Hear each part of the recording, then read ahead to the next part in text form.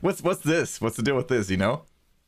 Oh, uh, so did you know that copper oxidizes faster if it's if it's uh, placed apart? Really? No, I didn't.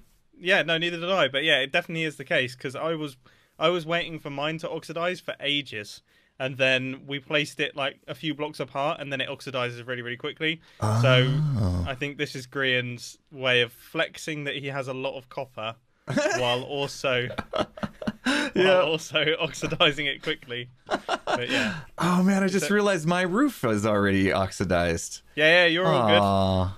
I oh, actually did you- wanted it to stay orange though.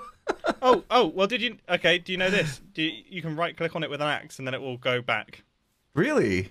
yeah. Do you want? Do you want to do it? I don't have an I think- axe. Go for Yeah. it. Go for it.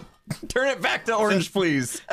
Wait, you want it to be full orange, or do you yeah, all want the it to be? way, all the way. All right, all right, all right. I'm gonna owe you an axe after this. I think. I think though. Oh no, sorry, I've just I've just stripped some of your wood. I've just ruined your base. Oh, fired. You were fired. no, thanks, man. I gotta get That's some. good- What is it? Honeycomb, right? To to make it Yeah, wax. yeah, Okay. Yeah, and then it will stay. But Yeah. um, yeah, there you go.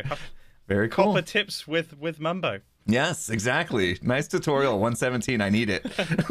Yeah, yeah, dude. Appreciate right, I'm gonna it. go back to standing around in my uh, in my bus and try and look up the chords to Wonderwall. okay, I will serenade you while you do that. Sounds great, dude. Sounds fantastic. See ya. See you in a bit.